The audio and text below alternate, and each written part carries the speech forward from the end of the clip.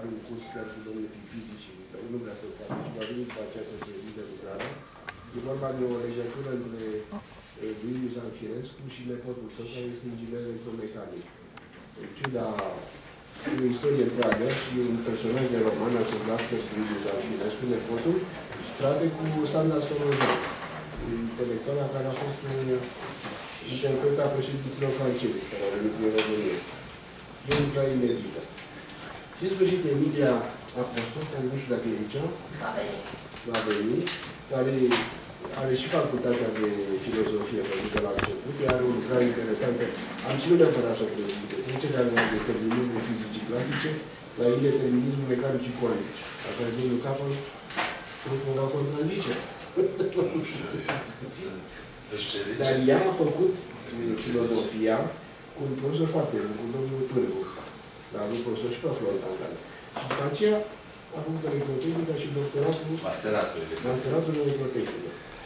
Elemente finite. Un personaj după roman foarte interesant. Și am am zis neapărat să vorbesc. Regretăm că domnul Tănăsescu nu a putut să-și prezinte asta, dar vom avea următorul program. Domnul Poinaru va prezenta personalitatea manului savant Alexandru Proca, este cel mai în măsură să facă din România, un savant mult mai puțin cunoscut decât are merită, un savant care a fost foarte aproape de premiul Nobel, pentru că a descoperit mezonii înainte japonezului de la premiul Nobel în 49, și mi-ar trebui să facem mai multă. Și, și la care nu am niciun secret, aș vrea ca centrul nostru care se formează aici să poată denumirea de Alexandru Proca. Pentru că este și inginer electromecanic a formației și a fost cel mai bun fizician din Franța a decedat în 55. Dar până atunci a fost printre cu mari de personalitate. Și o să aflăm chestiunea asta. Apoi, Ionuță Băiescu a prezentat Dragomir Curmuzescu, este anul Curmuzescu anul ăsta, sunt mai multe date interesante. Este anul Curmuzescu, pe 13 martie, pentru că de la Biofonie, este anul Leonida, nu? Uh, astăzi, 14 martie, 14 martie, iată, și Bun Constantinescu, Astăzi este ziua de naștere a Reginei Maria, 29 octombrie. Tot electrotehniciană? Nu electrotehniciană, dar care pentru cultura și pentru știința românească a avut multe familia regală. Eu am o lucrare și în sfârșit.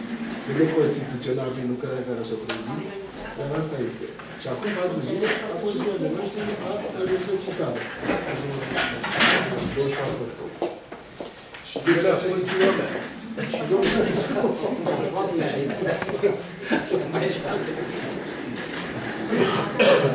Bun, începem și dăm cuvântul domnului Dorin Poenaru cu lucrarea personalitatea Marului Savant Alexandru Ioan. Aveți pe calculator?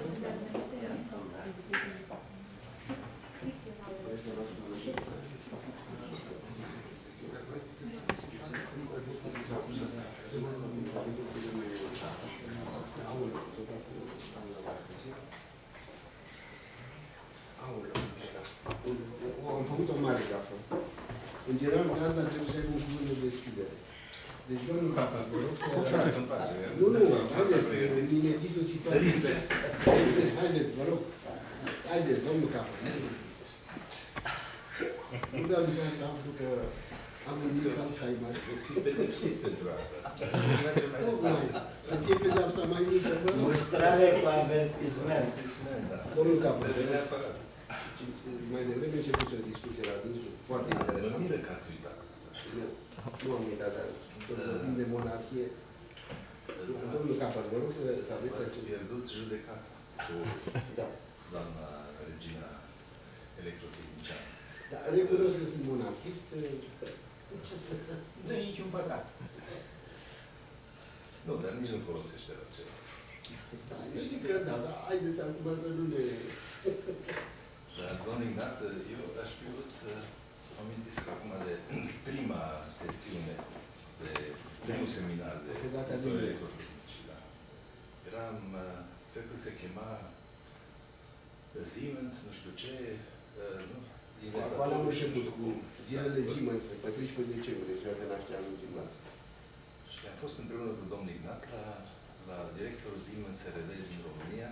Era un fost coleg de-al nostru care a lucrat în centrul de calcul Bruzinski, cred eu. Auziescu, da. Și care a plecat în Germania înainte de 89 centrul Siemens din München. Și după aceea, ființându-se aici un Siemens SRL, a fost numit director. Știind limba română și cunoscând București. Și am dus la dumnealui cu propunerea aceasta să, să organizăm în cadrul, nu știu, istoriei electrotehnice o zi sau un seminar despre Siemens. A urmat, să știți, PAF. Era o propunere extraordinar de șocantă al domnului Ignat. A urmat PAF. Pur și simplu, nici nu știu ce să răspund. Da, a fost entuziasmat. După aceea a dat, a dat telefon sau a comunicat cu centrala din München. Au venit doi înalți, cred că un cercetător și unul din administrația superioară a acestui centru din München.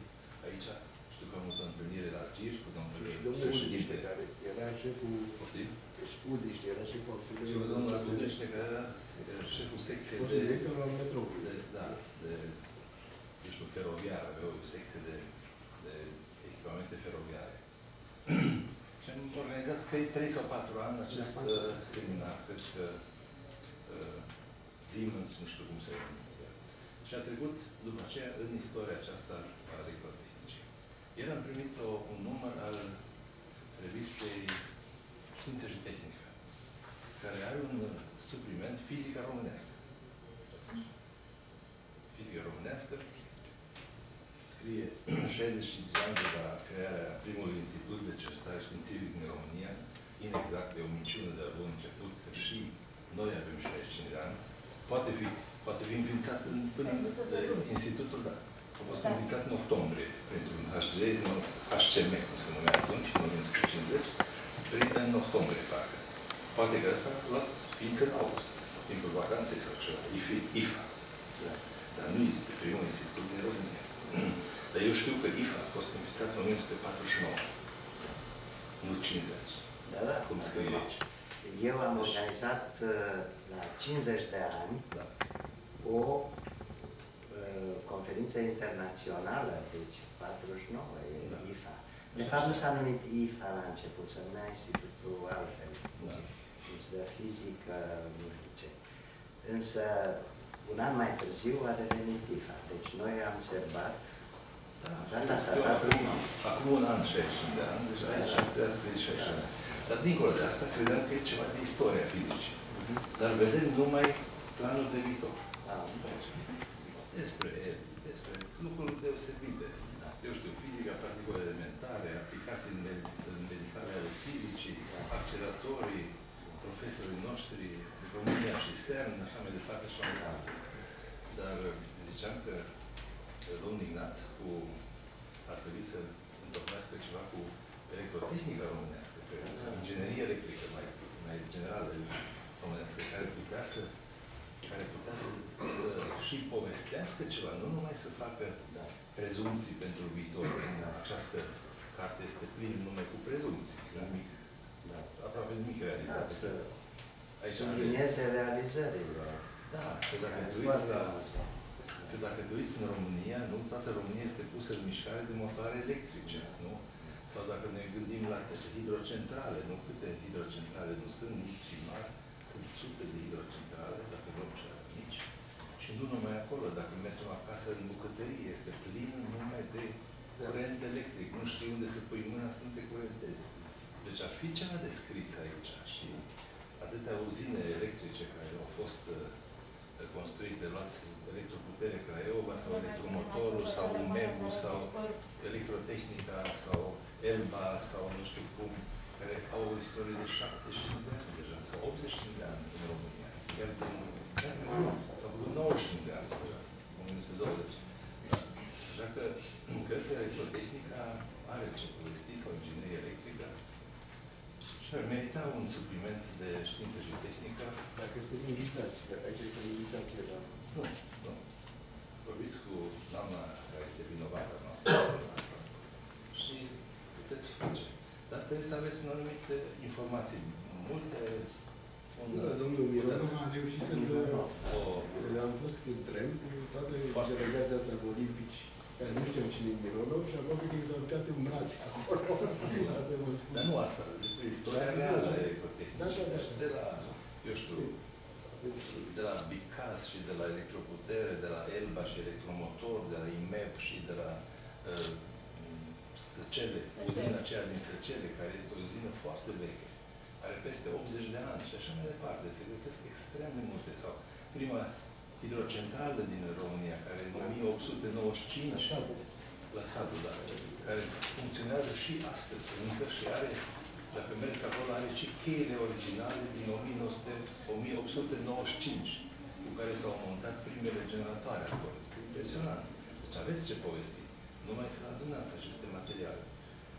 De aceea cred eu că seminarul nostru de astăzi, care se numește Istoria electrotehnicii românești, cred că este motivat și are un, un viitor. Poate să aibă un viitor chiar foarte lung și merită să aibă un viitor.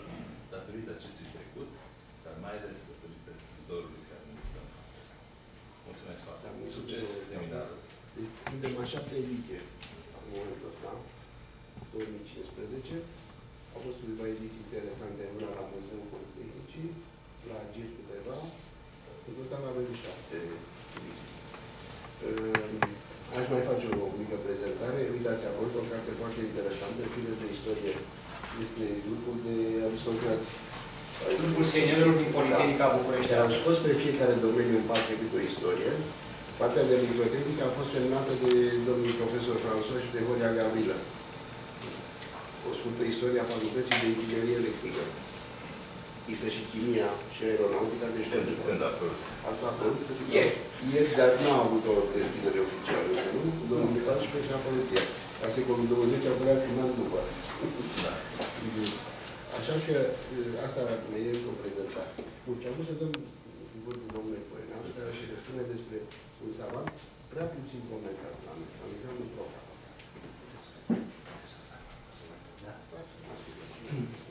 cer scuze că o parte din prezentarea mea am păstrat în limba engleză, pentru că am expus de mai multe ori la conferințe internaționale și am postat-o și pe pagina mea de web. Deci e vorba despre Alexandru Proca, de la cărui moarte se împlinesc în 13 decembrie anul acesta 60 de ani.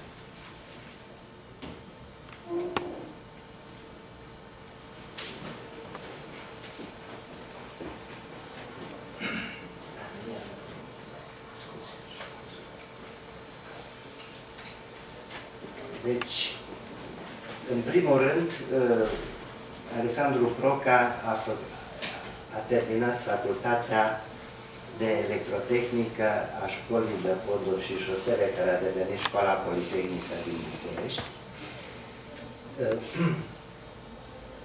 și pe urmă, la vârsta de 26 de ani, a plecat în Franța, unde peste câțiva ani a fost naturalizat cetățean francez.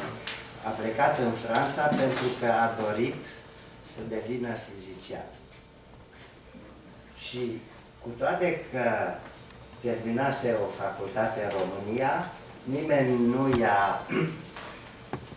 n-a vrut să echivaleze studiile din România și a luat-o de la început cu Facultatea de Științe de la Sorbona, pe care a făcut-o într-un timp record și cu niște note extraordinare. El a fost uh, în sistemul de note până la 20, cum era atunci, avea cele mai mici note de 17 și ceva.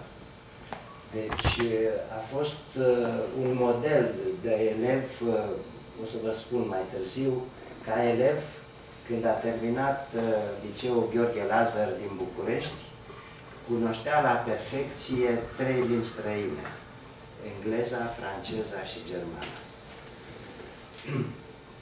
Deci, faimos a devenit la vârsta de 39 de ani, când a publicat ecuațiile Proca, care sunt ecuațiile relativiste ale câmpului vectorial bozonic masiv. Masiv înseamnă aici că nu are masă nulă cum are fotonul.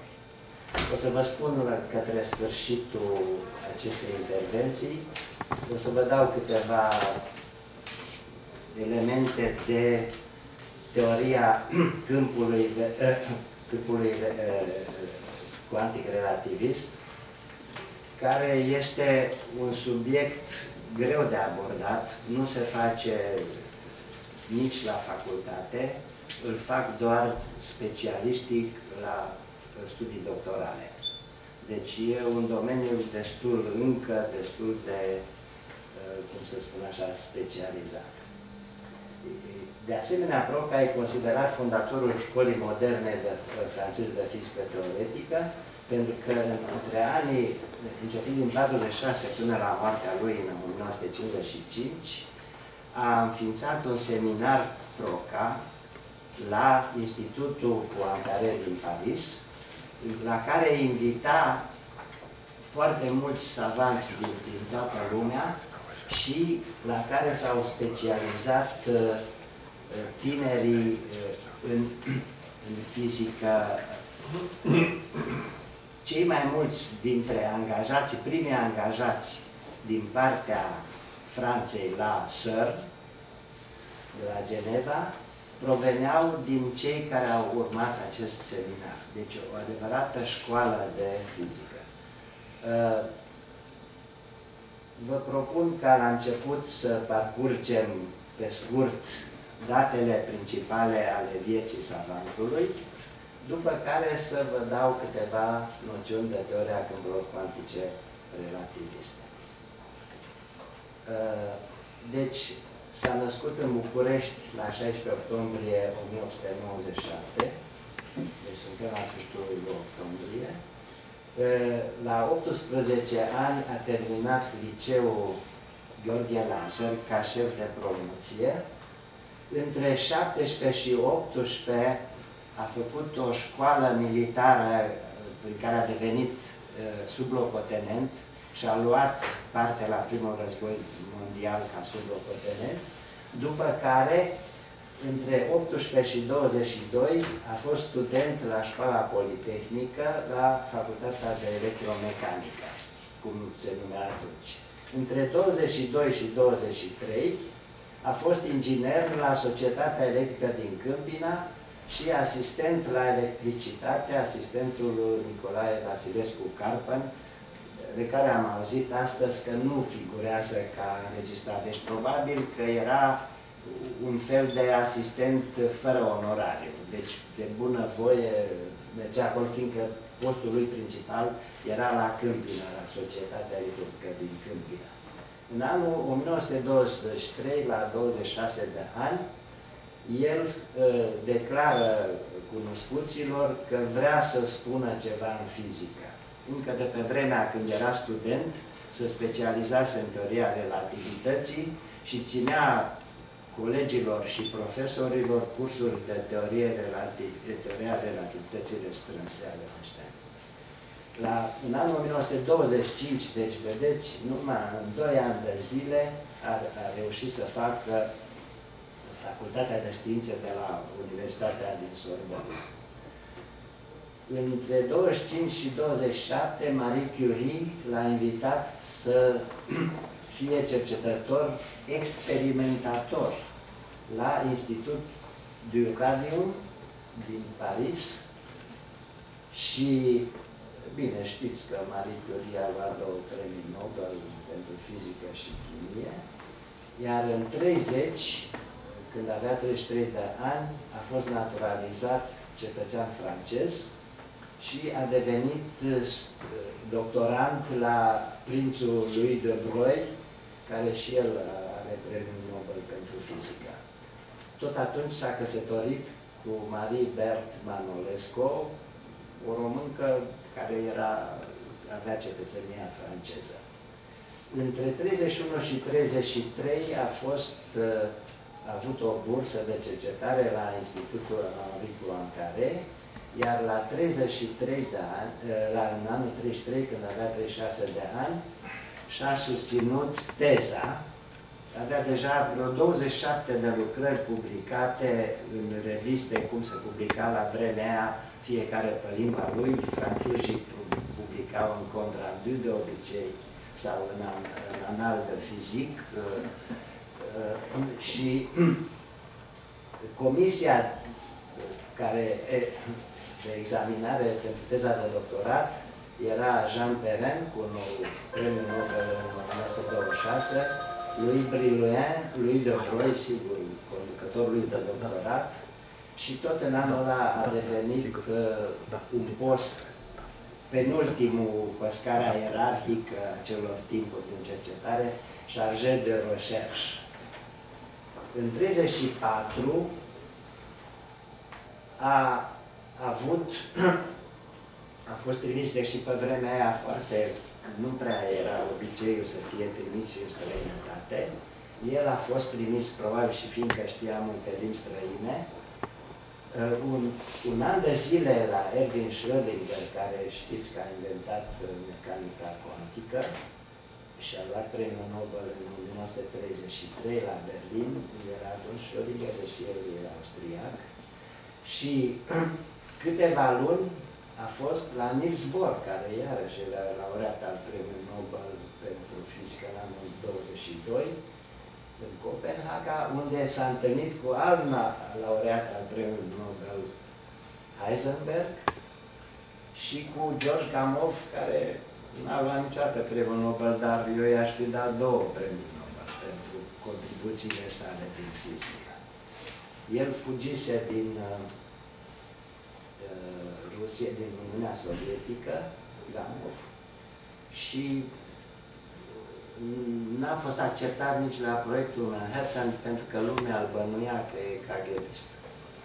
Deci, probabil că de-aia, din motive politice, nici n-a fost propus la premiul.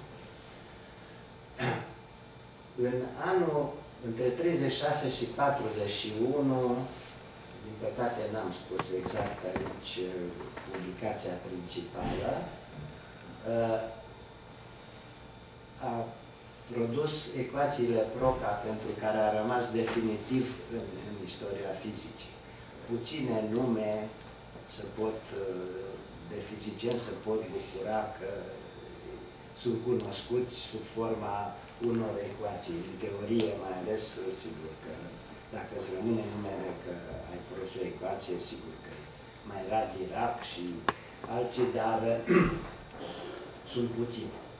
Deci, ecuațiile Proca pentru câmpuri cuantice, bozonice, spirium, o să vă dau mai târziu câteva noțiuni care să vedeți despre ce e vorba. În 38, o serie de savanți, printre care și Iucava, care o să ia premiul Nobel în 49, au scris articole despre ecuațiile lui Proca alți savanți, ca Wenzel, Tachetani, Sakata, Kemer, Heitler, Fröhlich și Baba, au scris articole. Deci, imediat s-a bucurat de un succes foarte mare. Deci, noutatea ecuațiilor pe care le-a dat el era evidentă printre specialiști. În 39 a fost culmea gloriei de care s-a bucurat, fiind invitat la Congresul Solvei, la care foarte puțini fizicieni veneau numai prin invitație. Deci sunt și acum fotografii, păcat că l-am pus una aici, în care erau Einstein, Marie Curie, toți mari savanți ai lumii din vremea aceea și a fost invitat și Proca. Din păcate a început cel de-al doilea război mondial și nu a mai putut să plece.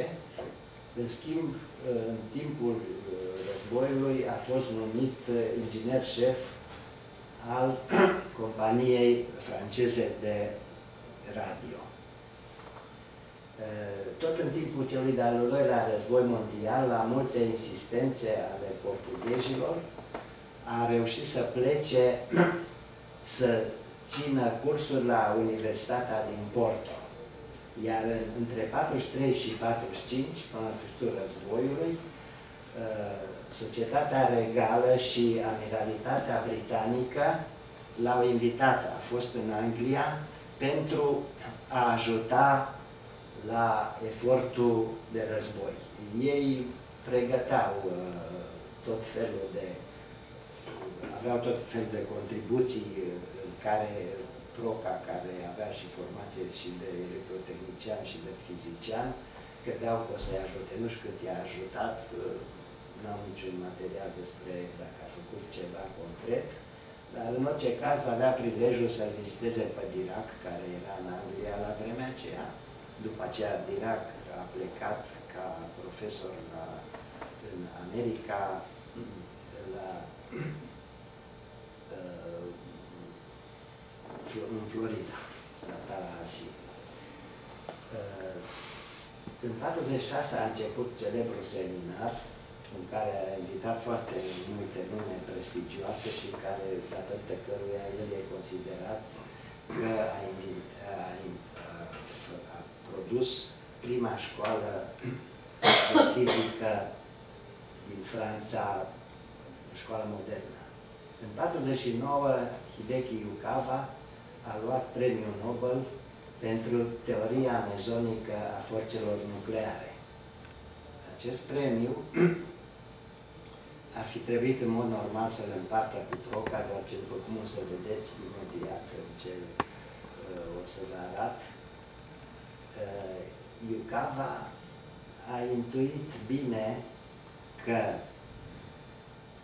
uh, nucleonii, care sunt protonii și neutronii, există niște forțe de rază scurtă între ele, una dintre cele patru forțe fundamentale care există în natură, care sunt mediate de particule cu spin 1, care se numesc bozon. O să vă arăt uh, care e clasificarea particulelor elementare.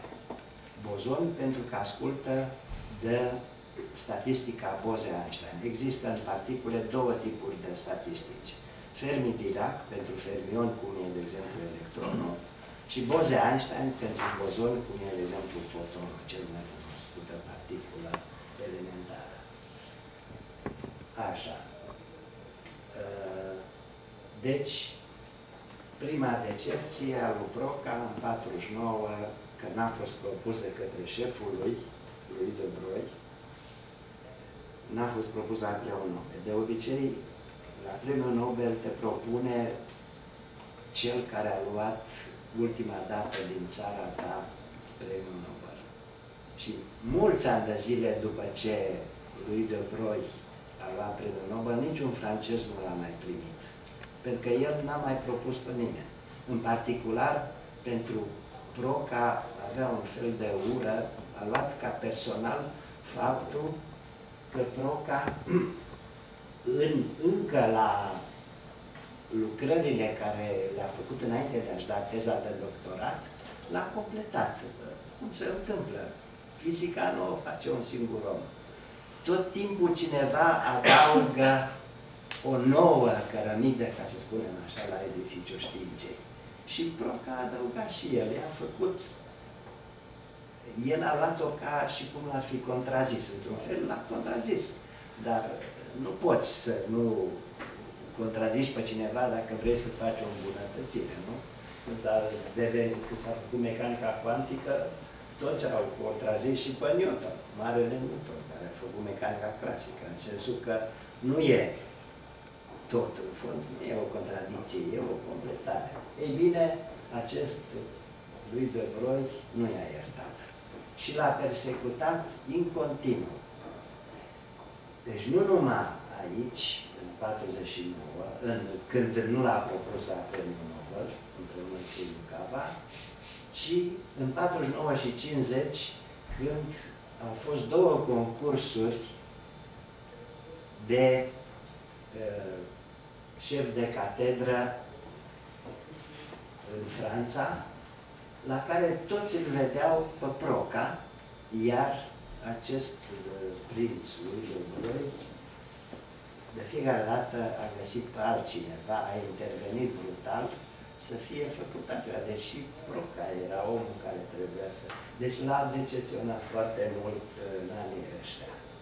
Cu toate astea, tot în 50, cu OGE, a organizat uh, colocviul de fizică teoretică al SNRS-ului, iar în 51 a fost delegatul Franței la întâlnirea generală a Uniunii Internaționale de Fizică.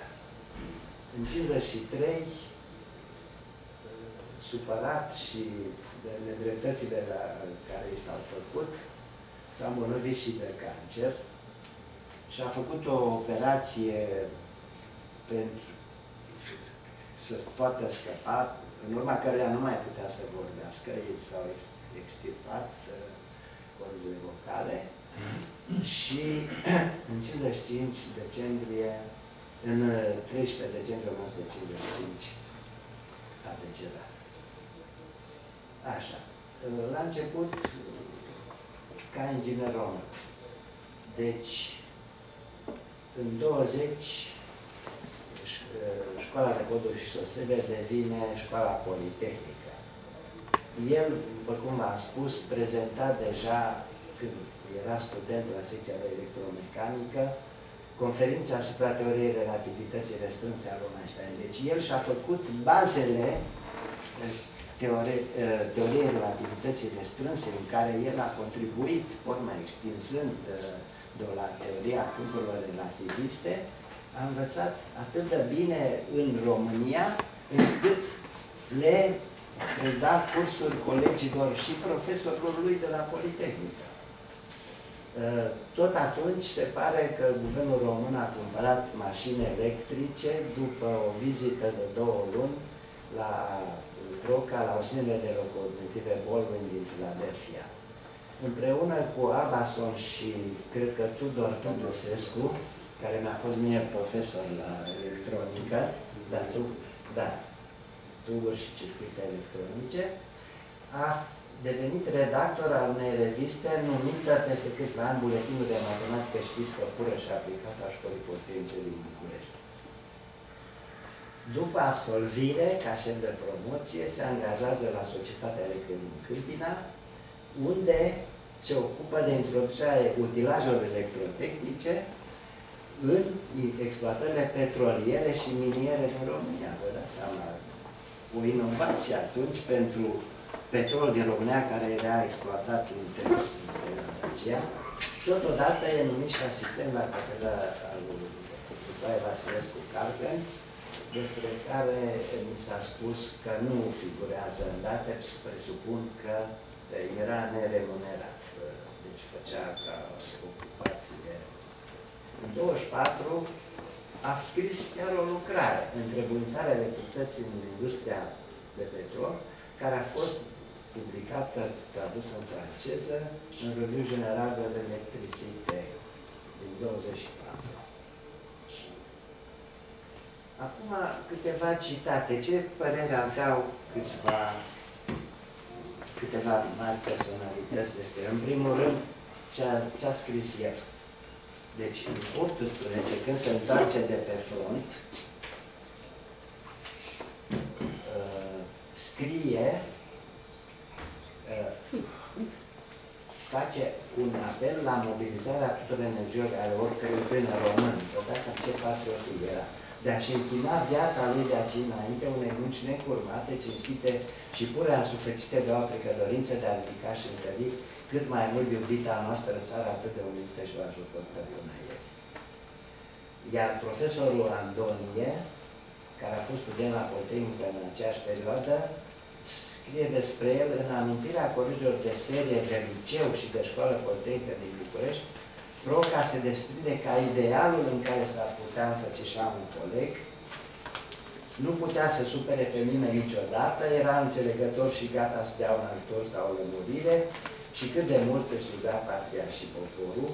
La examene se prezenta de parcă ar fi fost științific situat egal cu profesorii, fără să apară cea mai mică umbră de lipsă de condescendență, sclipitor ca inteligență, prin pregătire și preocupări, era totdeauna mult înaintea seriei sale, extrem de ordonat și muncitor, o vedere de ansamblu și o intuiție a cu speciale și de o modestie rară. De asemenea, academicianul Simon Storilov spune Proca impunea prin inteligența sa vastă și profundă și doată prin modestia lui, aceasta lipsită de orice fel de artificiu apare în modul cel mai natural ca expresia firii intime, nici o urmă de poză în el, modestia lui Croc, care era modestia sufletului său de Marie Curie, în perioada în care a fost uh, angajat la Institutul Radu, Marie Curie era directoare, și prilejul vizitei unui român îi declară acestuia. Sunt fericită să cunosc un compatriot și prieten al domnului Proca, fiindcă pot să transmit acestui prieten cât de mulțumită sunt de aportul domnului Proca în institutul nostru. De fiecare dată când am o problemă științifică dificilă, care necesită multă răbdare, competență, abilitate experimentală și meticulozitate, mă adresez domnului Proca, iar el de fiecare dată răspunde cu soluții care îmi convin, mă satisfac și totdeauna furnizează rezultate precise. Voi, românii, puteți fi mândri de a avea un cercetător științific de valoare a domnului Proca. Dumnezeu însă și-a dat seama că interesul lui Proca e mai mare pentru teorie și l-a recomandat, deși i-a părut foarte rău că pleacă din institut, să se transfere la un nou institut de fizică teoretică. Wolfgang Pauli, care a luat premiul Nobel pentru fizică în anul 1946, spunea despre el. În primul rând, în 41, când nici Iucava, deci la scurtă, în, în, la scurtă vreme după ce Proca a scris uh, ecuațiile Proca, Pauli, care era în foarte bune relații cu el, îl invita în Elveția, Pauli era, uh, cred că la Zurich atunci, uh, și iar Proca l-a invitat la seminarul mai târziu, deci spune într-un articol de sinteză din Review of Modern Physics din anul 41, titlul articolului Teorii de câmp relativist al particulelor elementare, spune că acele câmpuri al particulelor de spin 1 prezintă un mare interes, deoarece Iucava a presupus că mezonul are spin 1 pentru a explica dependența de spin a forței dintre proton și neutron. Forța de atracție dintre proton și neutron, dintre proton și proton, dintre neutron și neutron, sunt interacțiile tari, dar teoria pentru acest caz a fost dată de Proca. Uitați, în 41, 8 ani înainte de premiul Nobel pe care l-a luat Lucava, Wolfgang Pauli, unul dintre mari specialiști ai domeniului, scrie asta într-o revistă accesibilă tuturor, deci Modern Physics, care există și astăzi și e una dintre marile reviste de fizică ale lumii. Totodată, în lecția Nobel pe care o țin laureații premiul Nobel când sunt invitați să-și susțină, să, sunt invitați să obțină premiul Nobel, țin și o lecție. Și cu o, o, ocazia aceasta a spus din nou că Broca a extins teoriile lui Maxwell, care se referă la câmpul electromagnetic care are spin, uh, fotonul are spin 1, uh, spin 1, dar masă nulă, Broca le-a extins pentru spin 1 și masă finită. Și spune din nou că ecuațiile lui Broca sunt o generalizare a ecuației lui Maxwell care pentru masă nulă. Acum câteva noțiuni de particule. Particulele pot fi distinse, după cum am mai spus și adineau, uh, în două tipuri caracteristice, datorită unei proprietăți importante care se numește spin, momentul cinetic de rotație propriu al unei particule. Fermionii care au un spin uh, neîntreg, deci multipli de 1 pe 2, spinorul, de exemplu, are spinul 1 pe 2, cum ar fi electronul, cel mai cunoscut spinor e electronul, iar dintre bozoni, care au spinuri întregi, bozonii pot fi scalari cu spin 0, vectorial cu spin 1, deci Roca a dat ecuațiile pentru bozoni vectorial care au spin 1, pot fi de masă 0 cum e fotonul și pot fi de masă diferită de 0 cum sunt bozonii masivi W și Z care intermediază interacțiile slabe, iar tensorial pot fi, de exemplu, spin 2, cum ar fi gravitonul, încă nu s-au măsurat, uh, dar se crede, ipoteza este că interacțiile gravitaționale au spinul, particula care le intermediază are spinul 2. Deci, încă o dată, bozonii vectoriali mediază trei dintre cele patru interacții fundamentale în, în fizica particulor, electromagnetică, slabă și tare. Așa, acestea sunt cele patru interacții fundamentale. Gravitațională, electromagnetică, slabă și tare. Și sunt intermediate, după cum am spus, de graviton, foton. Uh, și uh, particule masive de spin 1, iar de spin, uh, spin 1 sunt gluonii, teoria a evoluat între timp de la Iucava. În prezent, teoria interacțiilor tari se numește cromodinamică cuantică, în care particulele intermediare nu mai sunt mezonii, cum a crezut Iucava, ci între timp s-au descoperit quarci și gluonii și acum particula care intermediază interacția tare este gluon. Așa, principalele tipuri de câmpuri cuantice relativiste sunt clasificate după spin. Ecuația Klein-Gordon se referă la spin 0, Dirac, care este, a fost cea mai mare des, descoperire pe care a făcut-o cineva în fizică, a fost Dirac cu spin 1 2. Asta se învață datorită importanței ei chiar la facultate la cursul de cuantică de la facultate, cu care studenții fac de ce în anul 3, să învață ecuația lui Dirac, dintre toate astea sigură. Și ecuațiile lui Maxwell, dar uh, sub forma sa clasică, nu sub forma cuantică. Așa.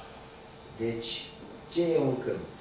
E o mărime care are o anumită valoare în fiecare punct al spațiului și timpului. Suntem în teoria relativistă, deci avem un spațiu euclidian la care se adaugă și timpul.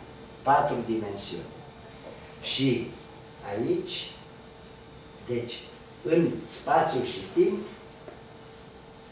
avem diverse valori. Asta este un câmp. El e produs, de exemplu, de către o particulă sau de mai multe particule.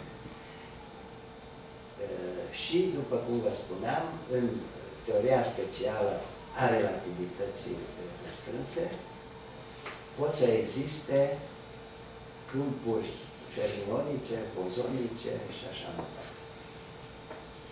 Câmpul lui Proca, ecuația lui Proca, e, nici nu se vede prea bine, acolo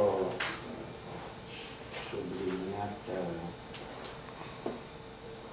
aici, nu trebuie să vede, uh, este un operator D'Alembert este produs, tot așa, este în patru dimensiuni, este produs din D2 la DT2, deci derivata parțială a doua raport cu timpul, minus, cred că minusul nu se vede, Lagrangiano, Laplaciano, pardon, Laplacianul este gradientul aplicat unui gradient, produs scalar.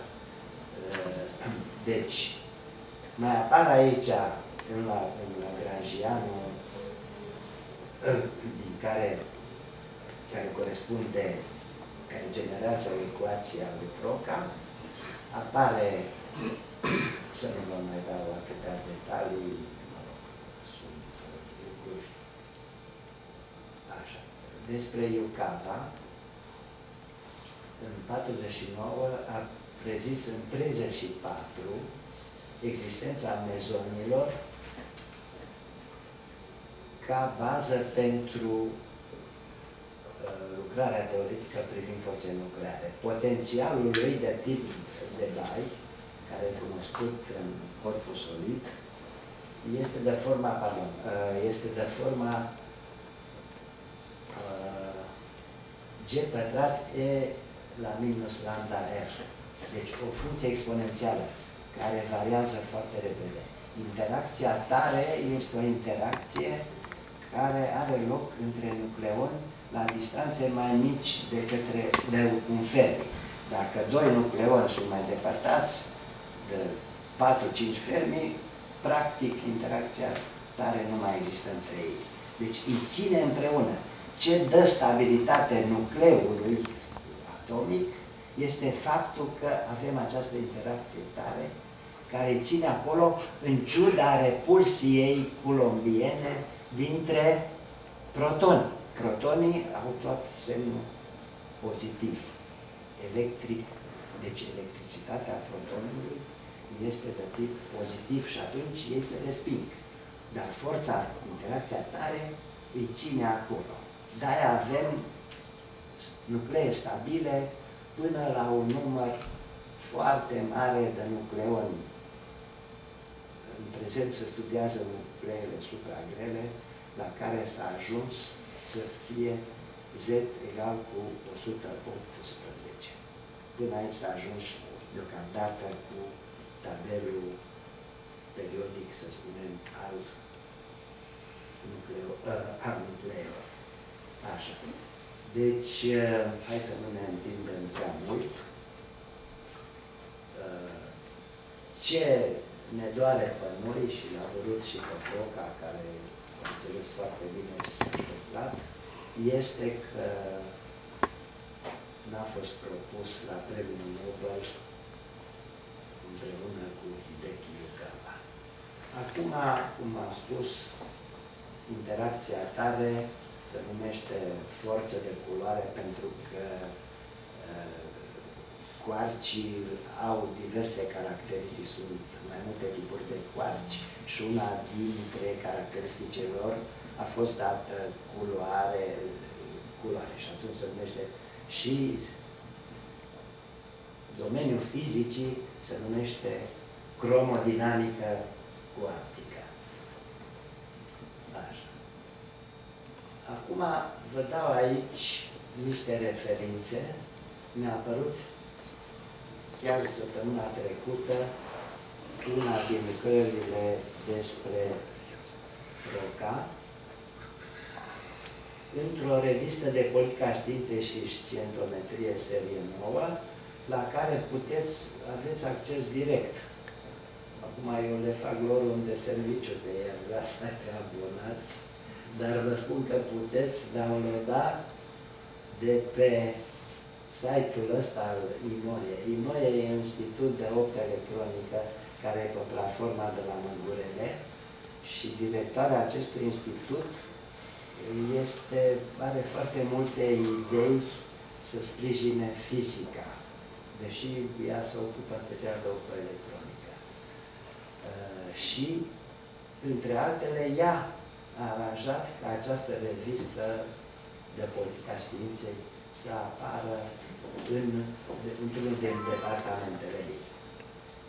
Și alt articol pe care vi-l recomand, despre care nu vorbesc aici, că nu are legătură directă, e că au existat patru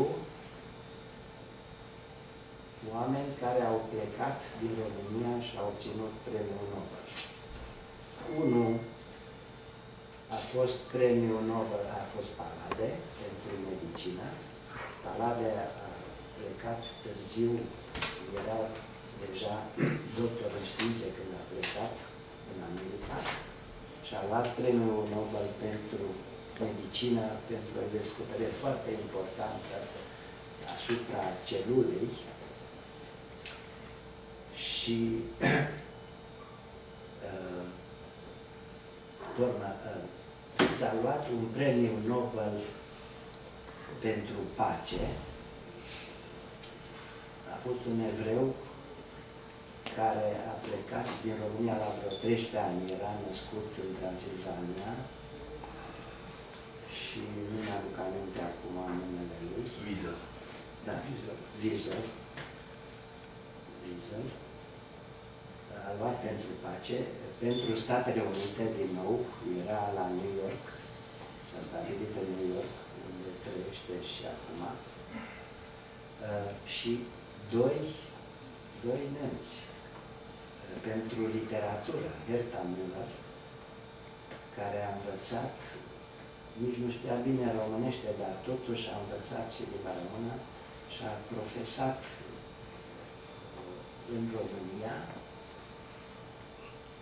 uh, iar ultimul premiu Nobel s-a luat pentru fizică. Uh, cum îl cheamă? El. El. El? Da. Deci, Și amândoi de la același liceu, Lena. Exact. El a stat cam o jumătate de an la liceul din Timișoara, la care a învățat și Berta Müller. Părinții lui au plecat cu el, cred că el este cel mai tânăr, nu știu dacă el sau visele e cel mai tânăr care a plecat din România, dar se întoarce. El vorbește românește și aproape în fiecare an vine în România și sunt conferințe, de exemplu, cred că anul ăsta a fost uh, anul luminii sau așa ceva, fizică. La Arad și Da, da, da, da, da, da. Și a venit din nou. Și vorbește românește și e foarte... Și în București. Da, da, da, da. E foarte plăcut. Uh, n-a uitat, uh, deși asta puțin, că abia a început să liceu când a plecat, nu uită să spună ce important uh, a fost faptul că a plecat din România. Așa, cel mai vreau să vă mai arăt niște cărți, prietenul meu, Walter Greiner, de la Frankfurt, a scris foarte multe cărți, unele din ele pentru cei care se specializează în cuantizarea, cuantificarea câmpurilor, mecanică cuantică relativistă și uh, cromodinamica cuantică de care v-am spus că este teoria modernă a forțelor nucleare. Vă mai dau niște poze.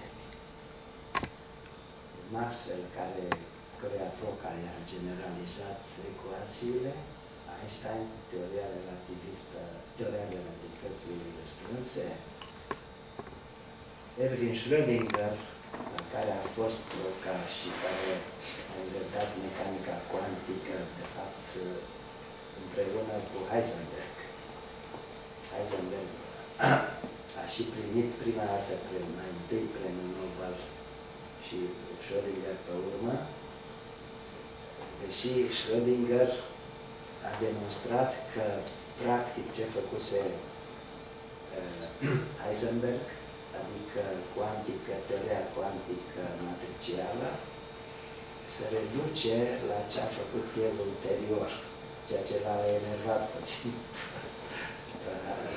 Heisenberg, dar oricum, el a luat singur premiul Nobel, iar Schrödinger l-a mai împărțit cu cineva. Urmă e lui de Broi, drăguțul care i-a făcut zile fripte lui Proca. Și care spunea că de cercetători s-ar fi mai oamenii bogați. Da. El a avut pe gratis. Da. Cercetare, nu, nu, nu puteți face cercetare decât de săraci. Da, În timpul să vă gândiți la... Așa niște teorii. Sigur că au fost mulți oameni bogați care au făcut cercetarea de asta. S-a cam terminat perioada, că o făceai din pasiune, dar au existat pasionați și oameni care n-am avut. Nici proba n-a fost un sărăntoc. Dar sigur că nu era ca iar Volcan Pauli, cel care l-a sprijinit cel mai mult pe Proca, fiind cel mai mare specialist din toți ăștia, în afară de Dirac, în teoria câmpurilor cuantice relativiste. Sigur că este genialul, nu știu ce l-am pus aici, pe Fermi, care știți că a avut un rol esențial în proiectul Manhattan. Era și experimentator, a făcut primul reactor experimental și de fiecare dată la proiectul Manhattan, care era un proiect foarte secretos, oricând avea o problemă sau teoretică sau experimentală, veneam la el și în câteva minute el le dădea soluția. De fiecare dată el le dădea soluția. Urmă sunt cei doi Hideki Yukawa, cu care ar fi trebuit Proca să împartă și alt japonez, ceea ce e foarte interesant, vreau să spun aici, nu știu cât de multe coincidență sau cât de mult carte s-a învățat acolo, trei dintre nobeliștii uh, japonezi au învățat la același liceu din Kyoto. Trei. N-am mai văzut așa din statistică. Așa. Și concluziile. A trăit într-o perioadă de mari descoperiri. Sigur, atunci s-au făcut în perioada mari descoperiri în fizică. A scris ecuațiile probe ale câmpurilor vectoriale bozonice masive. Interacția slabă este transmisă prin astfel de bozoni vectoriale, W și Z, și alte câmpuri vectoriale sunt utilizate pentru a descrie mezonii cu spin 1, consul mezonii roșii omega. Și ceea ce v-am repetat în viitor, ar fi trebuit să primească premiul Nobel în 49 împreună cu Hideki Yukawa. Așa, vă mulțumesc foarte mult. Și noi vă mulțumim, domnule Poenanu, fost o lucrare bine, bine sunt de cel mai bun ca rog, sau ce ce spune. I-am văzut primul articol în Curierul de Fizică, acolo la 10 ani. Victor Brăsan zice, domnule, ce dacă vreți ceva de proca, întrebă-l pe domnul Bogdan. Bun. Acum urmează următoarea lucrare, veniță de expertul Dagomir Lurescu, Părintele Radiofoniei Românești, și va mai prezenta o lucrare care nu e program, pentru că este anul Leonida, pentru că aici îl avem pe domnul Sărincu, care este ultimul colaborator al domnului Leonida, din este, dar noi vrem să luăm interviu de vreo 2 ani și nu reușim, în institut, dar care este ultimul colaborator și finul cu Leonida, remarcat chestia asta, și este domnul Leonida. Bun, domnul Leonida.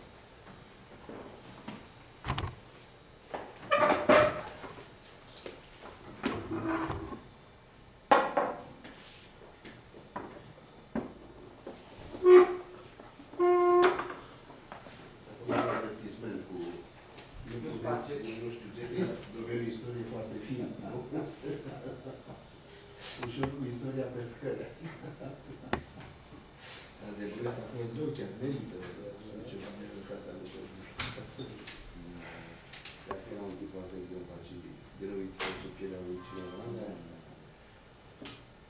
Dar chiar francezi a fost rău. Da, da, știu. N-a făcut o excepție. Dragomir Hormuzescu face parte din acele personaje, acele personalități care pot să facă tot. Deci, indiferent de ce domeniu abordează, ei ating, nu perfecțiunea, dar se apropie foarte mult. Aș putea zice că este un geniu. Dacă în domeniul istoriei a existat un Nicolae Iorga, în domeniul radioului a existat acest Dragomir Urmuzescu îl declarăm ca părinte al radiofoniei românești și observăm că și în cartea radiotehnicianului Lice Florea, apărută în 1930, se folosește aceeași sintagmă de părinte al radiofoniei românești, încă de atunci era într-o poziție foarte înaltă. În mod sigur, o operă completă care să cuprindă viața și opera lui uh, Dragomir Urmuzescu ar depăși o mie de pagini. Deci se pot scrie foarte multe despre el. S-a născut în 13 martie 1865 la București. Viața i a fost marcată de inteligența nativă pe care o avea, de muncă, dar și de o serie de împrejurări favorabile pe care aș știut să le fructifice. Sigur de el, la numai 16 ani, intră în audiența la, minister, la Ministrul Instrucțiunii Publice și roagă să-i aprobe înscrierea la Liceul Sfântul Sava. La sfârșitul liceului, Dragomir Ruduzescu deja cunoștea limba franceză, muncind în așa fel încât să-și poată susține frații mai mici. Își satisface stadiul militar și, bineînțeles, dă fără probleme toate examenele necesare și obține gradul de sublocotenent. În 1885, fiind disponibile două burse la școala normală superioară, Dragomir Bucurescu obține una. Aceste cursuri durau trei ani, dar Urmânțescu le absolvă în 2 ani și obține o bursă doctorală la Sorbonne. La Paris absoarbe pur și simplu toate informațiile din toate domeniile. Participă la nenumărate cursuri, conferințe, ascultă tot ce se întâmplă și uh, vede ceea, lucrurile care apar, care se lansează în acele momente, respectiv radioul și fizica nucleară.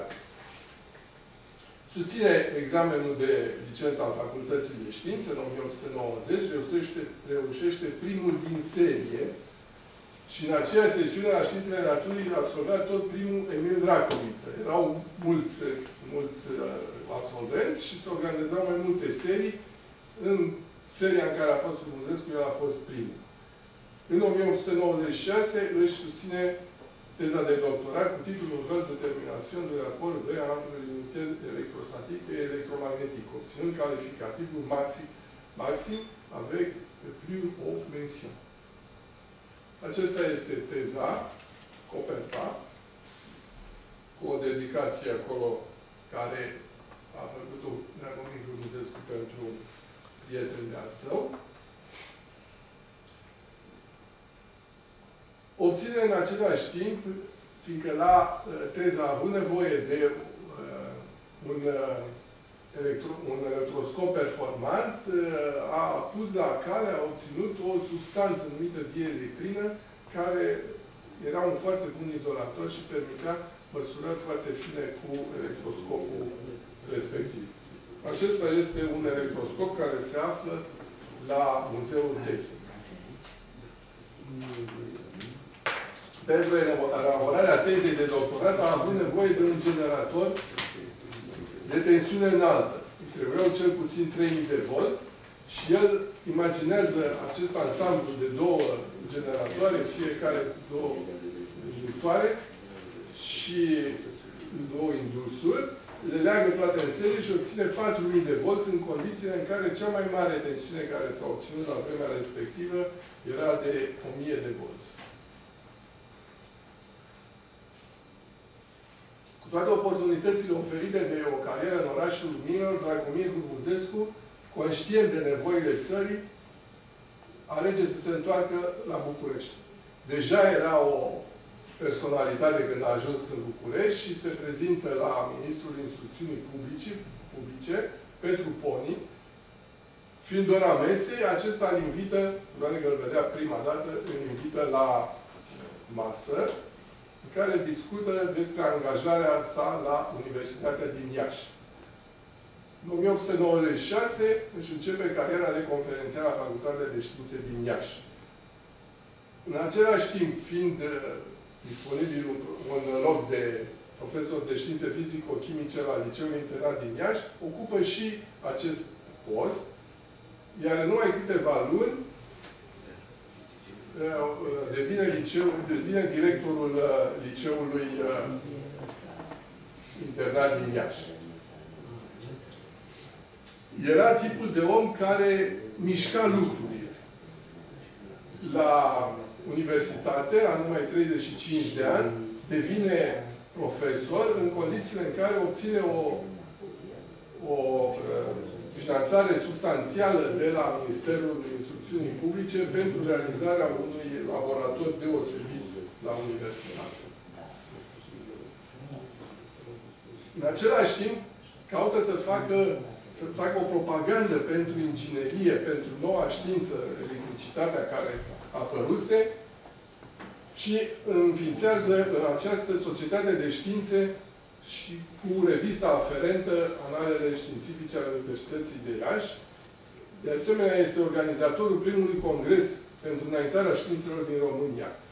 În 1904 vine la București în calitate de secretar general al Ministerului Instru Învățământului și Instrucțiunii Publice, ocupă această funcție până în 1907, dar nu rupe legăturile cu Iașu, înființează o școală de electricitate la Facultatea de Științe a Universității din Iași și aici putem să vedem programul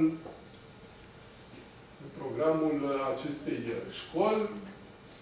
Observăm că este o mențiune foarte importantă la modă pe vremea aceea. În semestrul 2 se vor ține conferințe complementare asupra telegrafiei fără sârmă, telefoniei, razele X, radioactivități, etc. Deci lucrurile de care lumea era interesată.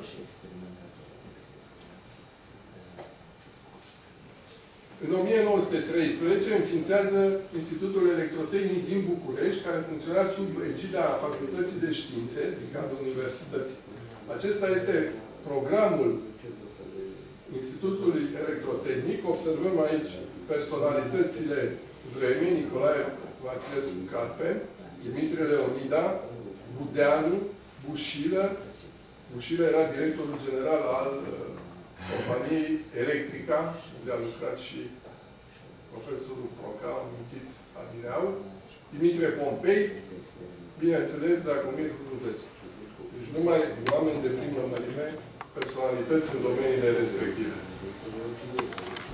O lungă perioadă de timp, Dragomir Muzescu a fost profesor de electrotehnică și apoi decan al Facultății de Științe din Universitatea București. În anul 1937 iese la pensie, dar continuă să predea. A fost membru al Academiei Române, a scris numeroase articole, cărți, lucrări de specialitate. Avem, avem aici semnătura lui originală,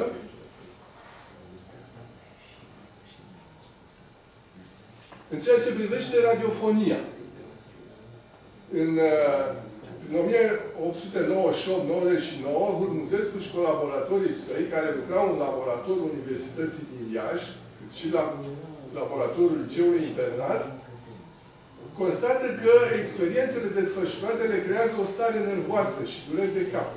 Acest fapt îi face să-și îndrepte atenția către noua descoperire telegrafia fără sârmă. La aceea dată nu se cunoșteau efectele nocive ale radioactivității. Știm uh, problemele că și astăzi agentele de notiție ale Marie Curie nu se pot consulta decât în condiții speciale, fiind deosebit de radioactive. Ei n-au avut un astfel de istoric ca să știe ce se întâmplă, dar au intuit că e ceva neregulă.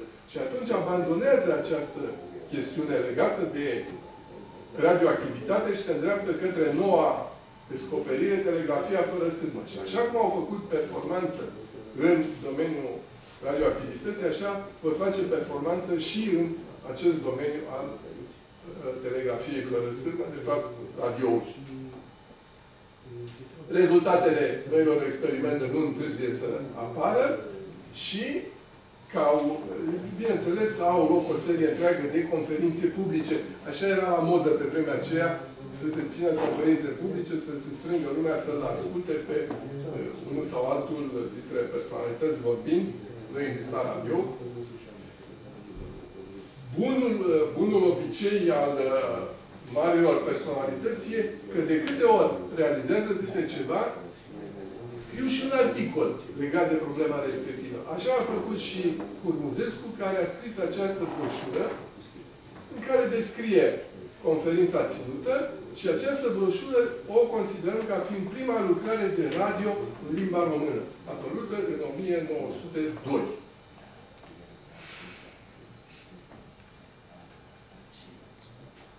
Sub uh, Imperiul Războiului uh, radiofonia se dezvoltă, dar ea izbucnește în public, să zicem așa, în 1920. Radiofonia exista și până atunci, însă erau instalații mari, instalații complicate, pe care nu și le puteau permite decât companiile și uh, navele făceau, uh, transmis, uh, transmiteau informații și, în general, în telegrafie. Dar, în 1920, apare radiodifuziunea publică, deci pentru toată lumea. Bineînțeles că se mobilizează profesorul Curmuzescu și fondează împreună cu câțiva colaboratori Asociația Prietenilor Radiofoniei.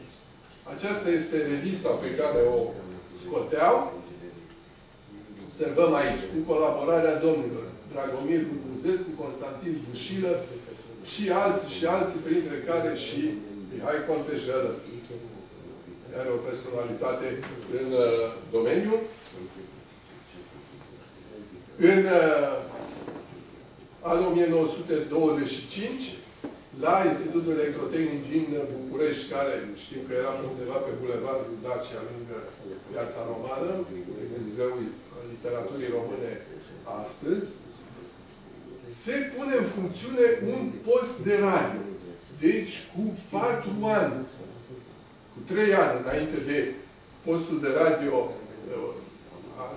radio, al radiodifuziunii naționale, care a fost în Oimile, sunt 87 de ani, 1928, s-a pus în funcțiune acest post de emisiune de la Institutul Electrotehnic Român. Acest post de emisiune a avut abonați. Deci a funcționat ca o ca o companie. Deja în 1927 avea 2000 de abonați. Emisiunile erau destul de regulate, pe lungimea de undă de 350 de metri și așa mai departe. Sub protecția profesorului, la Institutul Electrotehnic, se mai produc un post de radio pe 280 de metri, realizat de către Emil Petrașcu, care ulterior va ajunge directorul radiodifuziunii române, s-au transmis cu acest post evenimente de la Ateneu și de la Opera Romă.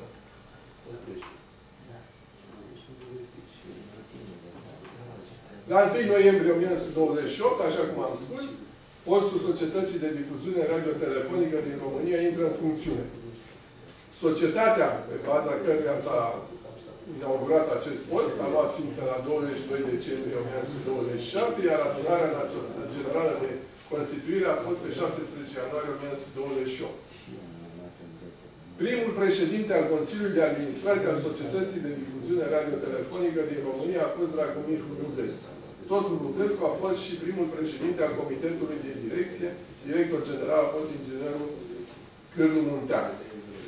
Primele emisiuni au fost făcute de permisiunea de undă 401 de metri, cu un post de 400 de W, oferit cu titlu provizoriu de firma Marconi, Marconi Wireless Telegraph Company, care va furniza și postul definitiv de 12 kW. Dragomir Ruzescu care a rostit cuvântarea de deschidere între orele 17 și 19 în data de 1 noiembrie 1928. Trebuie să subliniem aportul lui Murmuzescu la dezvoltarea radiofoniei românești, el renunță la traiul facil oferit de Occident și se întoarce în România, unde contribuie esențial la dezvoltarea științei și tehnicii. Vă mulțumesc! Și vreau să văd dacă, dacă mi-am amintit acum ceva, că dezvoltarea radioului a fost mult timp uh, frânată în România, fiindcă condițiile de a de a avea un aparat de radio erau foarte drastice. În sfârșit, dacă primeai uh, aprobarea să o deții un aparat de radio, trebuia un certificat de bună purtare și așa mai departe, se punea pe casă o astfel de emblemă care spunea că este mândru posesor al unui Dar cine aparat. vedea, cine vedea? Poliția putea să vadă chestia asta? Da, da, fiindcă erau mulți clandestini și atunci era un fel de poliție care umbla și îi trăgea cu urechea. Opa, asta are la aparat de radio, are emblema pe casă, nu are. Deci era o Asta înainte nebunie de... totală. Îi găseau ușor după antenă. Dar care era motivul, domnul Descu? De ce? Deci care era motivul? Deci înțeleg Păi problema. se plătea. A, se plătea și să Se nu plătea, fură. da, da, da. Evaziunea fiscală. Da, da, asta era problema comercială. Domnul Descu, acum mai puteți vorbi și de Leonida puțin? Da, sigur. Să... Dacă și domnul Serincu vrea să Wow, spune ceva mulțumesc. de Leonida. Domnul Sărincu ne poate vorbi la nesfârșit. Dar știu că De- poți să rămâi cu el cu o insulă și nu mai terminam cu... Da. Are și poze și... Și mi se pare că la comanda lui Leonida s-a căsătorit la domnul Serincu, nu? Să vorbim puțin mai tare. Da, da. Spune dumneavoastră despre Leonida. Deci nu predidim, nu predidim să, să ne minunăm de realizările acestui om extraordinar, care a, nu s-a mulțumit să constate că ceva nu e în regulă, ci a făcut tot ce se poate ca să rezolve lucrul acela. După cum știm, a ajuns în țară, după terminarea facultății în 1908, inginer electrician, așa se așa se numea, așa își scria în dreptul numelui, inginer electrician, și nu avea muncitori specialiști cu care să lucreze. Și atunci a înființat o școală. A înființat o școală la care el a fost director, administrator, autor de text de manual, profesor, a mai adus și alți uh, ingineri care să țină cursuri și această școală a funcționat 40 de ani. Chiar și domnul Serincu a mai apucat un an să o urmeze.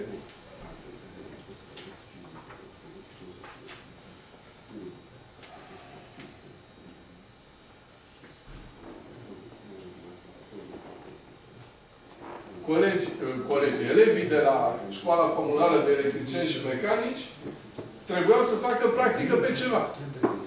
Nu aveau unde. Și atunci, cu relațiile respective, a reușit să obțină de la uh, întreprinderile care renunțau la diferite echipamente, aceste echipamente care le-a adunat și a rezultat Muzeul Național Tehnic, actual Muzeul Național Tehnic.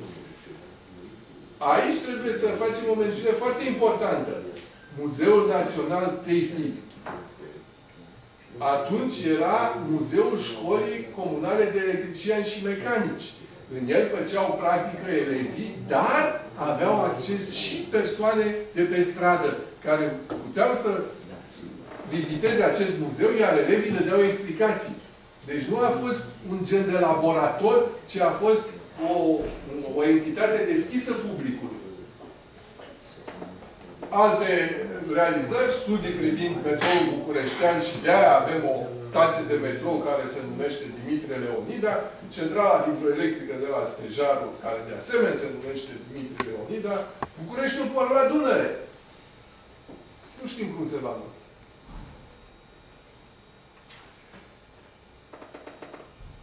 Deci, realizările lui, Societatea Energia, care o să revenim, stații militare în timpul războiului din, uh, din Balcan și după aceea în primul război mondial, postul TFF din Parcul Carol, unde are o idee foarte interesantă privind uh, multiplicarea frecvenței, electrificarea a trei orașe cu uzinele aferente.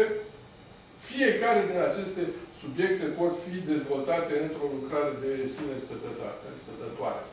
Dar noi ne vom uh, limita la uzinele electrice termice, la termocentralele realizate de Dimitrie Leonida.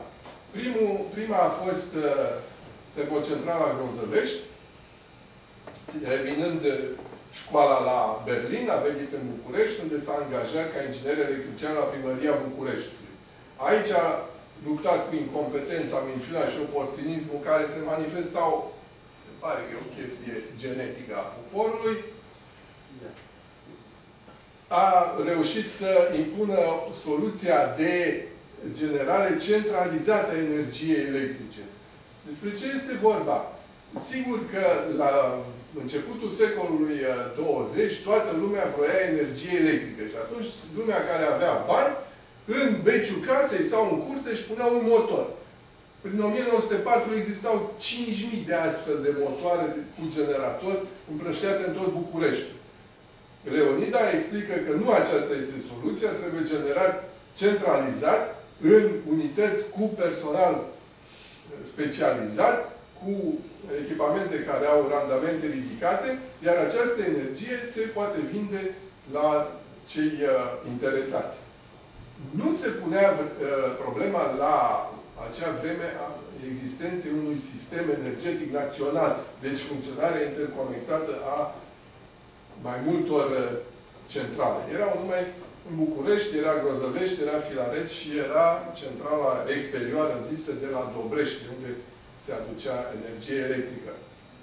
Această uzină electrică din 1912 se pune în funcțiune la Grozăvești, a fost proiectată și executată și exploatată de tânărul inginer de 26 de ani, Dimitrie Leonida. La această centrală electrică a lucrat prima, prima promoție de absolvenți ai școlii comunale de electricieni și mecanici. Deci lucrurile s-au potrivit cumva bine. Cam așa arăta la vremea respectivă centrala Grozăvești, o secțiune, vedem cazanul. Interesant este că acest cazan, care s-a pus în funcțiune în 1912, a fost scos din funcțiune și demolat în 1936, fiindcă era depășit uh, tehnic, și mutat la Muzeul Tehnic. Deci el se poate vedea acolo, în realitate, și este o școală extraordinară. Toate componentele sunt la vedere, economizărul, supraîncălzitorul și mai departe. Iată centrala, panoul de comandă care se află deci panoul de comandă și aici pupitrul de comandă, e stânga-dreapta, care se află la Muzeul Tehnic de asemenea, cu cele două generatoare, de câte 1000 de kW fiecare. Personalul care a lucrat la prima, prima termocentrală din, de la Grozăvești. Aceasta este schema electrică a unui grup. Vedem că au un sistem de control de izolație, deci treabă destul de modernă pentru vremea respectivă.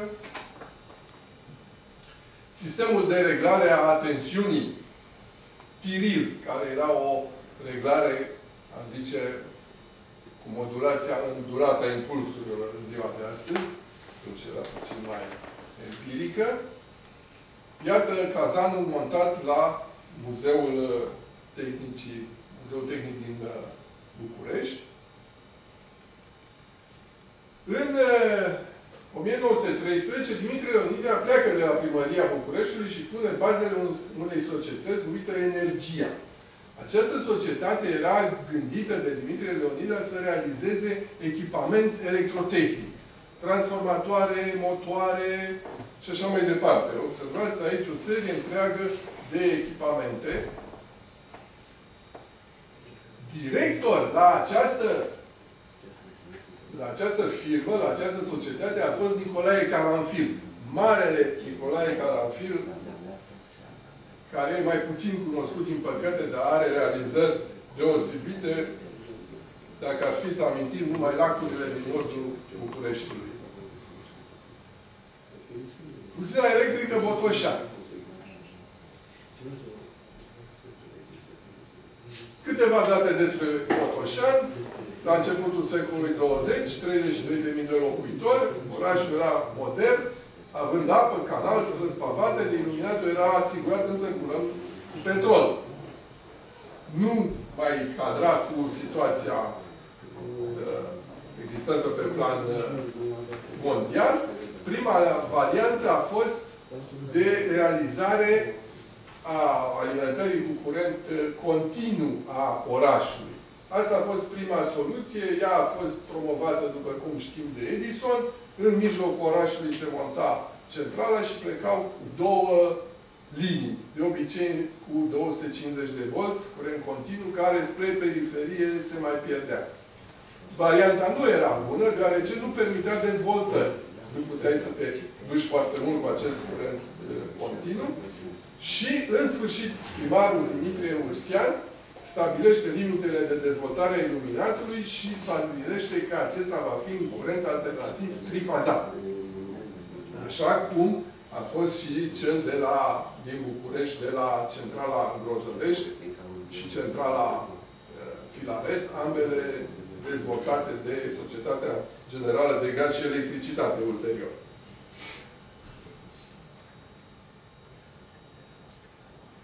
Cei consumatori existau în uh, vremea aceea în uh, orașul Botoșan. Dimitre Leonida face un inventar și vedem aici.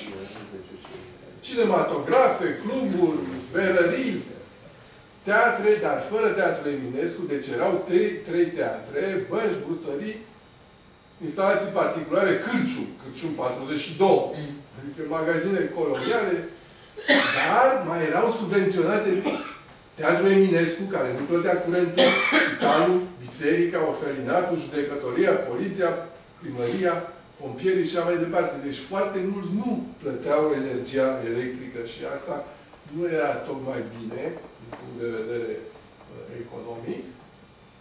Da, dar uite, cultura se făcea... Da, cultura, deci cultura era, vreau, trei teatre plus teatrul Eminescu la 32.000 de locuitori. E o chestie care spune multe. Da, totuși 42 de Crăciun e caracteristic pentru Moldova. Acum,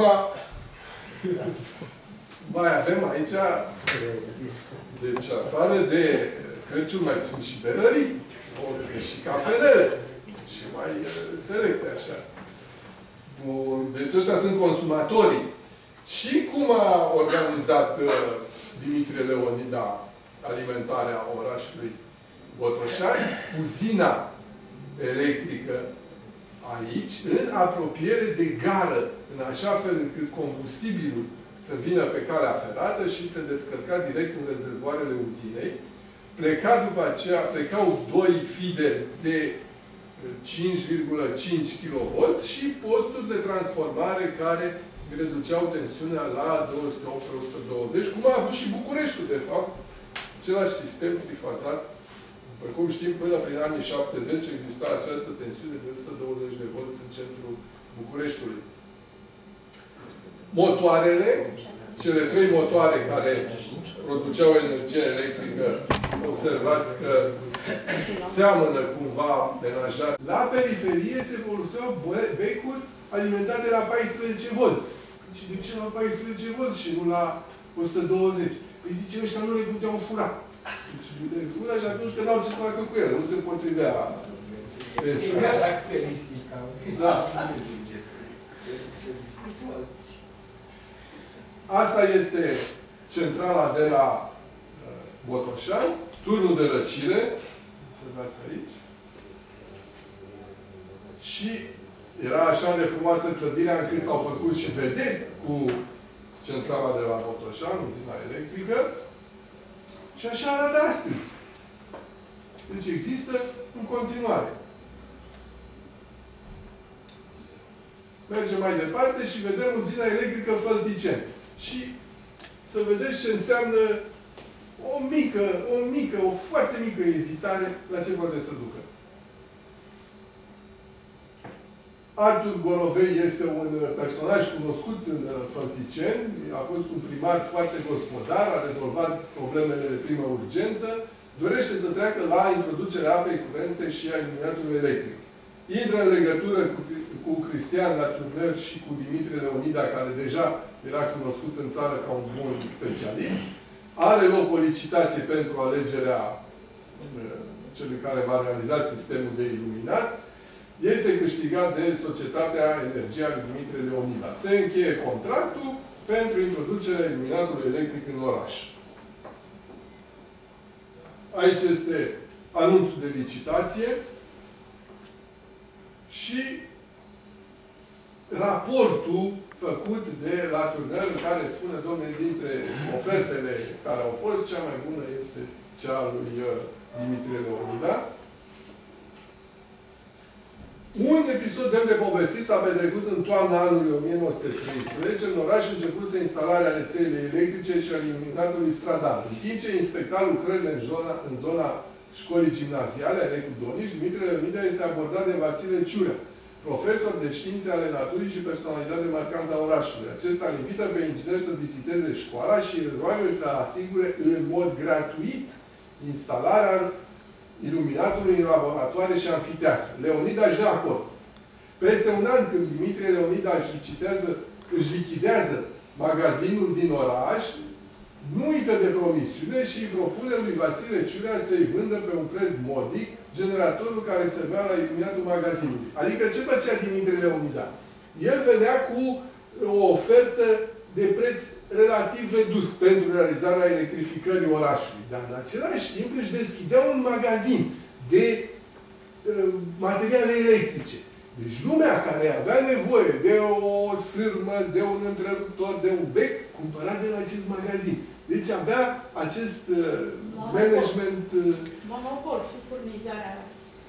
De-aia putea să vină cu prețuri mici, deci aranja lucrurile bine. Și bineînțeles că acest magazin avea generatorul lui.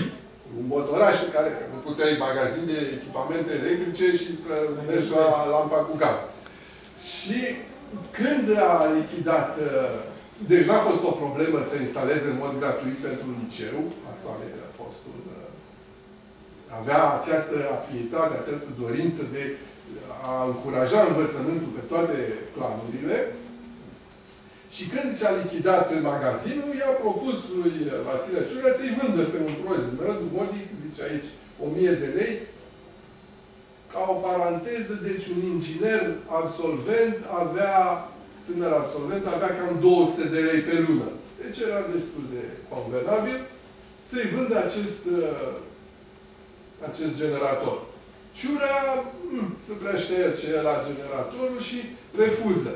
Numai că atunci uh, uh, Leonida vinde generatorul avocatului Ghițescu. Acesta l-a folosit încă mult timp până în 1925. Deci discutăm de 1913, încă 12 ani. Când s-a introdus luminatul în oraș și în școală.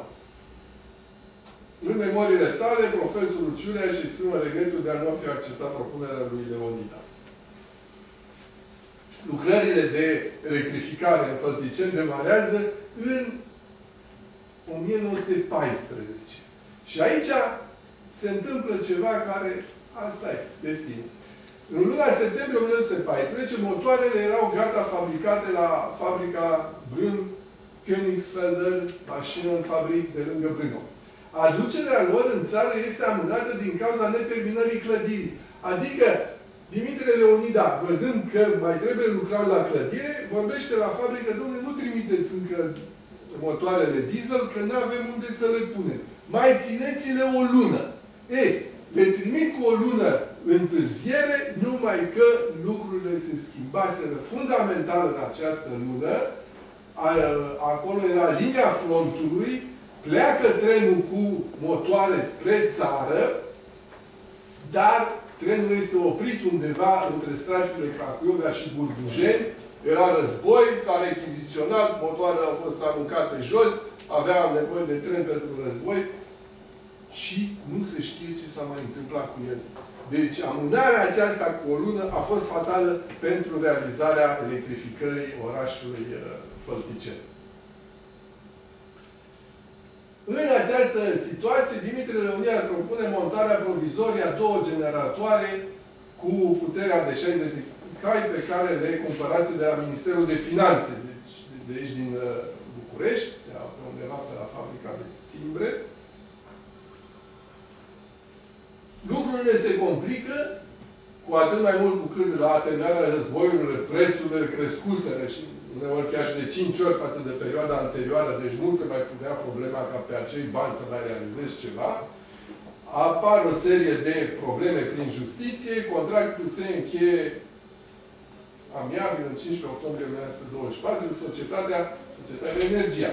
Pune în funcțiune un generator diesel care fusese depozitat în uzină și își primește banii pe lucrările executate și cu asta se uh, încheie activitatea societății Energia. Lucrările de instalare a luminii electrice în oraș vor fi realizate de o altă firmă, Almahon, iluminatul electric în Fălticeni se dă în funcțiune în anul 1925, cu toate că aceasta este clădirea centralei, ea există și astăzi. Domnul uh, Selincu astăvară a făcut o vizită la fața locului și a făcut niște fotografii foarte frumoase. Evoluția ulterioară a alimentării cu energie electrică a fălticenilor sunt contradictorii. Totuși putem să considerăm ca fiind reale datele apărute în Cartea Electrificarea României, scrisă în 1930 de către Rarincescu, care era directorul Serviciului Energie din Ministerul Industriei și Comerțului. Aici se prezintă în mod exhaustiv situația puterilor instalate în centrale electrice particulare și comunale din diferite orașe ale țării. În această lucrare aflăm că puterea instalată în județul Botoșan era asigurată de uzina electrică comunală a orașului Botoșan cu puterea 1250 de uh, cai putere, deci cele trei generatoare instalate de Dimitrie Leonida. Puterea instalată în județul Fălticeni era asigurată de uzina electrică a localității Pașcani. Deci nu se pomenește de o instalație electrică la Fălticeni. Pașcan care avea 160 de cai. Pașcan doar de cale ferată era altă situație. Deci lucrurile sunt uh, destul de neclare privind evoluția uh, electrificării orașului uh, Fălticeni. Atâta timp cât astfel de manifestări asta noastră au loc, istoria noastră tehnică mai are o șansă să supraviețuiască. Vă mulțumesc! Acum o să facem o pauză de un sfert de oră pentru cafea, pe care revenim cu timp de 3 minute.